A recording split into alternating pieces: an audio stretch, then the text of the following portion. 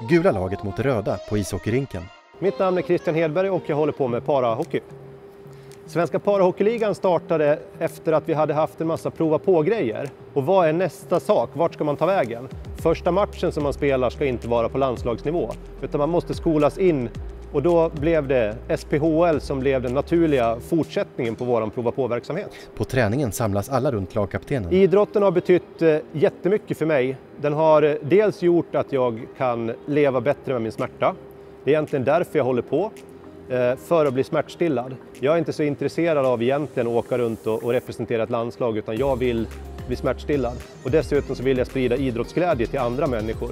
För att det är därför vi är här. Vi är här för att vi ska ha jätteroligt att spela hockey. Taktikprat mellan två spelare på isen. De som inte har testat parahockey så skulle jag säga kom och testa. Det är jättekul. Framförallt så är det bra träning, du får bålstabilitet och du kommer att hitta muskler som du inte trodde att du hade. Jag som är förlamad ifrån naveln och neråt har hittat nya muskler som jag faktiskt kan ha användning av även i vardagen. När man kommer till eh, hockeyn första gången så tror jag att man är jättenervös för att man tror att det kommer att gå jättefort och man kommer att bli tacklad.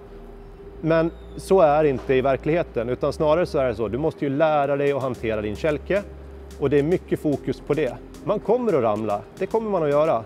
Men om man har kul medan man ramlar så är det helt okej. Okay. Texten Parami i stora bokstäver snurrar in i bilden. Detta var en film av Parasport Sverige.